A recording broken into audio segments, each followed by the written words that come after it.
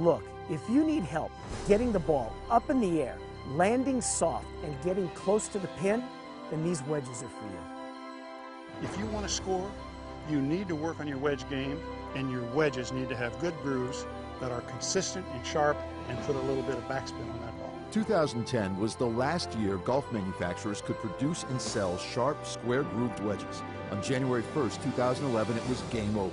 At that moment, two things became vital in wedge design quality of material and durability. Let's have Jesse explain. Everybody knows that the more you practice, the better your short game is going to get. The problem is, with all the other wedges on the market, the more you practice, the more that face is going to wear down. And it's going to let you down on shots around the green. And that's why Jesse is very exacting when producing your clubs. New for 2011, Jesse has made the Bobby Jones wedges even easier to hit from tough positions around the green. I've given it what I call a J grind. I've narrowed the sole area at the heel, left it normal in the middle, but then swept it away. You can see that I've cleaned out the toe. What that does is it gives you the opportunity to fan the blade open or closed a little bit, and it won't grab. The heel and toe won't grab around the green. With the USGA cutting down on the geometry of the score lines, you've got to impart the maximum amount of traction. And the only way you can do that is with a precision milled wedge. Let me show you the science behind what makes our wedges so special. We start out by using an exclusive steel alloy used in bearings that is very, very hard, very durable. It won't wear out. We mill that material with the proper face texture, and then we mill in the score lines. Behind this face insert, we place a 3M membrane. It's a bonding membrane. What it does is it bonds the special face insert to the body. We then press the face insert into the body and the heads go into an oven for about an hour. During that hour, the 3M membrane releases an epoxy resin that creates a bond that's even stronger than welding. But once the head cools, the 3M membrane goes back to its slightly spongy, elastic state. The result, you have incredible feel with incredible durability. It's the most wear-resistant face in golf. You want your grooves to last, you want your backspin to stay with you, Bobby Jones. Now that you know that a sandblasted face doesn't do your short game any good, not all milled faces are the same. Ours has a unique milling pattern that reduces the side spin but increases backspin for better accuracy. Under a microscope, you'll see that the pattern of our face texture looks like the teeth of a chainsaw, grabbing the ball, giving you maximum traction. The new USGA regulations make it more important than ever to select a wedge that gives you season after season of peak spin performance.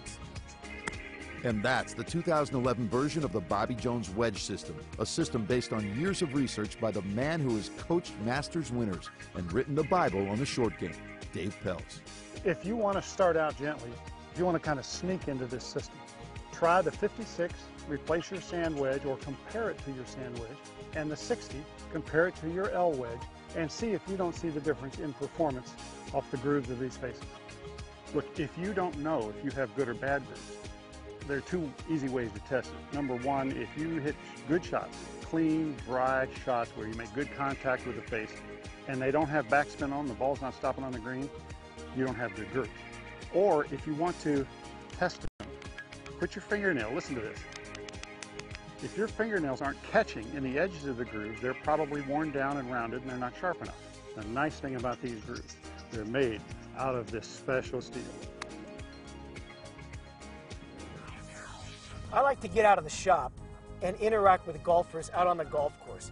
So we took Jesse out to beautiful 36-hole Robinson Ranch Golf Club in Santa Clarita, California, where we ran into golfers on the third hole of the mountain course. Now we're out shooting uh, a segment for our show. I don't know if you guys watch the Golf Channel every once in a while. Yeah. yeah. If the only two elements that come in contact with the ball on the wedge isn't really the groove or the groove geometry, what really comes in contact, if you think about it, is the face texture and then the edge of that score line. So now the edges of the score lines have to be a little bit duller, which means that it's more important than ever to have an aggressive face and ours is the only one with an insert that won't wear out. So we talked these gentlemen into a five minute trial with the Bobby Jones wedges. Brian Steiner, 9 handicap. Tyler Costin, 8 handicap. Sean Alexander, 10 handicap. You know, the wedge felt real solid. Um, obviously, with wedges, that feels everything. Yeah. And it came off um, like a blade, like a real, real solid, real solid feel off the face.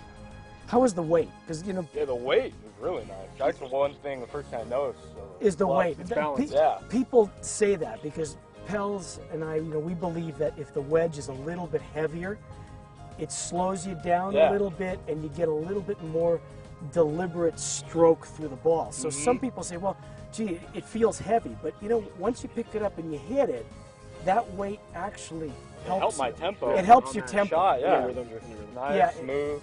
That's right. I li- helps your really like the tempo. weight. little. Yeah, the weight is that's unusual. They are a little bit heavier, but once you get used to it, then you go to another wedge and it feels like you've got nothing in your hands. Yeah. I definitely uh, enjoyed the uh, the tempo that it creates and the, the weight of the club. Um, I enjoyed the, the feel the most. I don't want to have to spend uh, you know another couple hundred bucks or so to to replace my wedges in my bag. I want to be able to keep it for a long time and have it perform like like it should.